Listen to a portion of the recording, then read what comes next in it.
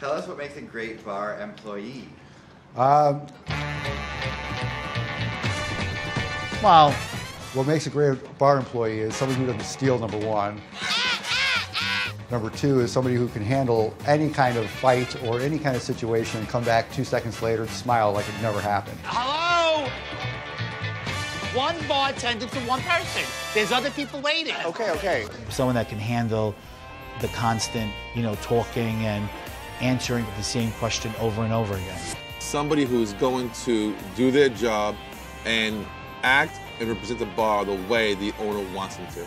And someone who wants to generally give someone great hospitality. Mike said this doesn't look like it has enough cucumber in it. It's not thick enough. Can you add more? Very simple. A great bar employee is someone who understands the parameters of their job and is a grown up. Here's the keys to my bar. Take care of my bar. Welcome to the Iron My best employee is me. I've never let myself down.